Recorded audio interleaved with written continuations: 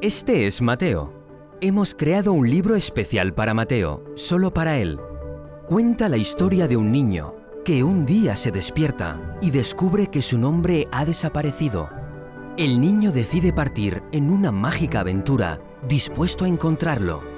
Un día, conoce a un mago algo torpe que le regala la primera letra de su nombre. Después conoce a un águila que le regala un magnífico vuelo sobre sus alas. Un troll sorprendentemente simpático. Un elefante muy olvidadizo. Y un hambriento oso hormiguero.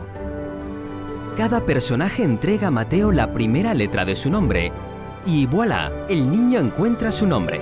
Y no solo Mateo, podemos crear libros para todos, niños o niñas, con diferentes personajes que regalen distintas letras hasta componer cualquier nombre. Nuestro objetivo es demostrar que con algo de valor, curiosidad y bondad, todo es posible. Incluso encontrar un nombre perdido.